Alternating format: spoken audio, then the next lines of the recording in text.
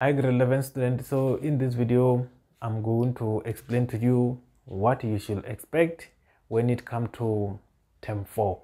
Alright, so basically before we discuss with our um, paper 1 and, and, paper 2 scope, uh, let's start with the work of term 4. Alright, uh, when we check a teaching plan uh, for grade 11, uh, there is only one chapter that is going to be covered in this term. Okay, term 4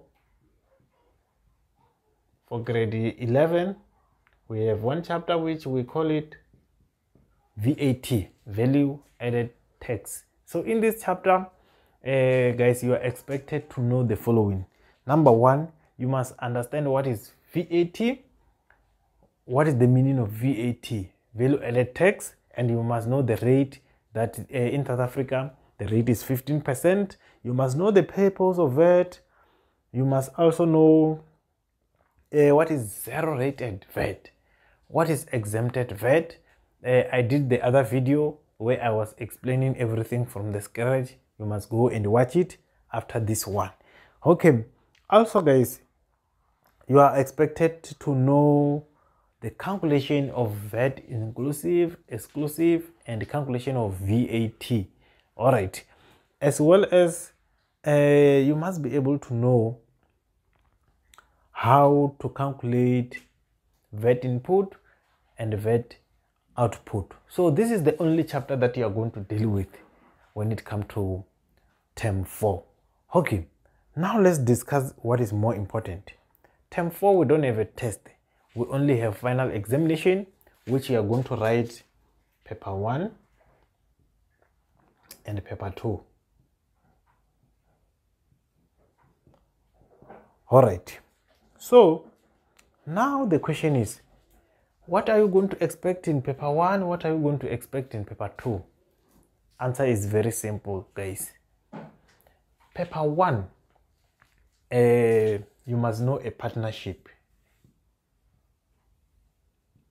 okay and partnership comprise of income statement a balance sheet. Okay you must know a note and you must know internal control.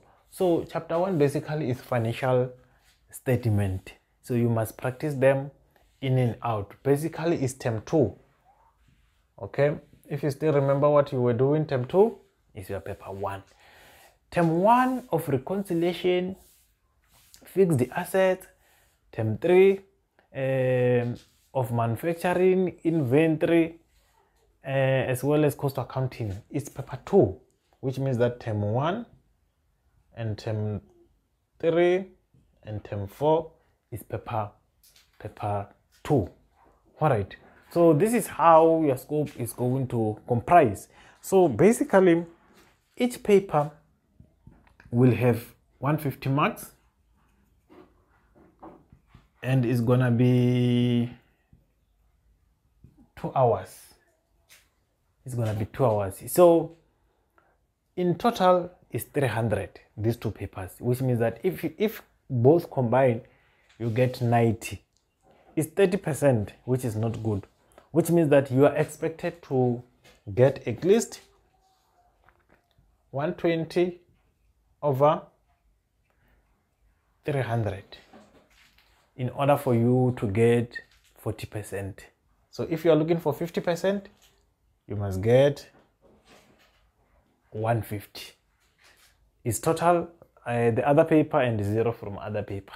But uh, I always encourage my student, those who are attending extra class, that guys, you must make sure that from 150 you get at least 100 if the the paper is more difficult get at least 100 you will be more safe okay? Um, so this is how term 4 uh, will contain a work. So those who have been joining our extra class guys please make sure that you join because other students um, when it comes to term 3 they find that the question paper that they were writing is one of the paper that we covered when we were doing uh, our online extra class. Remember guys, online extra class um, contain many papers than the one that we have on YouTube because on YouTube you're just gonna watch a video that was recorded three years ago. Some of the papers are outdated, so you have to make sure that you attend a live class, uh, which is only 100 rand. We only left with two months, guys. Two months is 200. 200 uh, is not a lot of money um, compared to the future of the student. So you have to make sure that you communicate with your parents so that they can help you to join uh, this extra class as well as guys i know that some of the students they also don't have a study guide make sure that you get your own soft copy which is only 100 rand is going to assist you of course to get many question papers and memorandum that is going to assist you to practice. Because if you just practice with a paper that you don't even have a solution how are you going to assist yourself?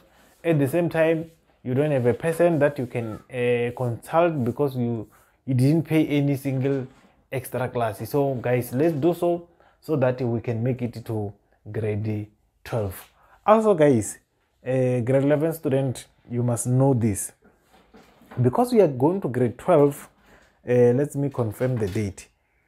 Because we are going to grade 12 we are going to start this class very early uh, in 2025 january.